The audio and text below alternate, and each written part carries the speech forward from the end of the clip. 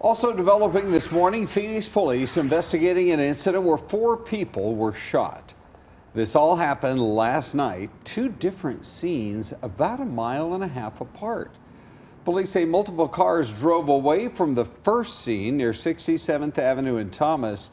Officers found shooting victims at different locations, including an apartment near 71st Avenue in McDowell. The good news here is everyone lived and it looks like everyone should recover.